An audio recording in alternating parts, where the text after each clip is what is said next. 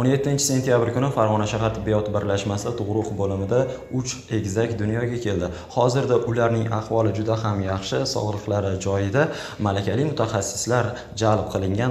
Hozirda parvarish qilishda bir o'zingiz qiynalmayapsizmi yoki yordamga muhtoj bo'lyapsizmi?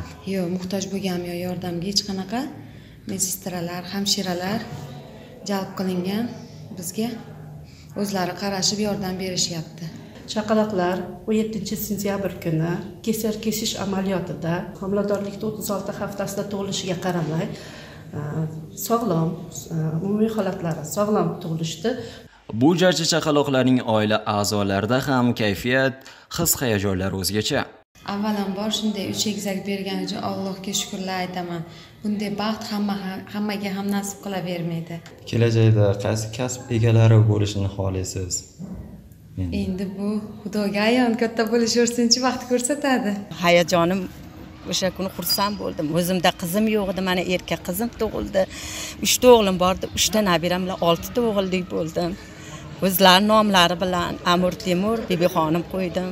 Endi ikkita nabiram shu amir temurdaqa sohibqiron bo'lsin vatanimizga sodiq farzand bo'lsin. Qizimiz bibixonim o'sha to'marisdek ayollar bo'lib yetishsin.